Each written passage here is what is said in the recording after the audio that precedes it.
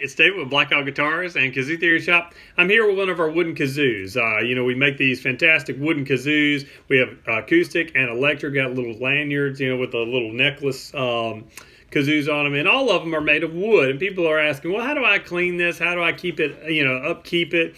Um, and how do I keep it looking nice? Uh, what if I drop it, scratch it, whatever? Uh, what happens? How do I take care of this thing? Well, we do use a natural finish on our uh, kazoos. Um, we use a beeswax mineral oil finish, and uh, so we're going to be talking about that. A couple of items here. Um, I like to uh, use either, you, if you don't want to make your own beeswax mineral oil finish, you can use something like this.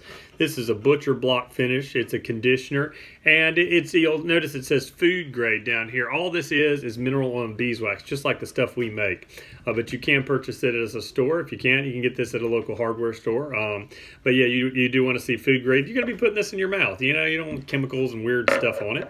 Or if you don't have that, can't find that, you can just use standard mineral oil. You can buy this for like 99 cents at Walmart, and that'll put you another kind of coat of finish on there. And it, it seems you're kind of treating this like you would a cutting board almost.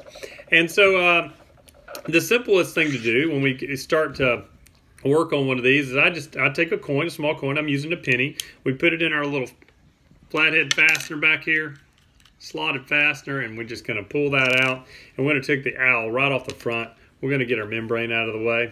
And so you say, well, it's kind of dirty on the end. I've been playing a lot. So, you know, you dampen a rag and clean off the end, uh, get it all cleaned up. You need to get down in there. And I would just use uh, just some water. And you say, well, oh man, I scratched the side at a gig the other night. Well, you get you some fine grade, uh, this is some 220 sandpaper. You can sand it down. You're not going to hurt this thing. You guys can sand it. It's just wood. Just sand it, give it a smooth wherever it needs. You say, okay, that feels much better.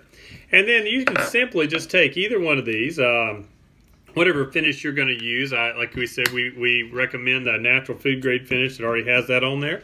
This, I'm going to use the beeswax mineral oil. And you just put some on your hands. It's not going to hurt you. And you rub it onto the kazoo all the way around.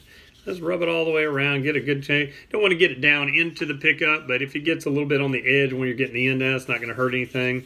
Let it rub in, and you can let that sit that aside for a few minutes on a um, um, on a rag and kind of let that seep in. And once that has soaked into the wood, you see, oh, it's really not soaking in anymore.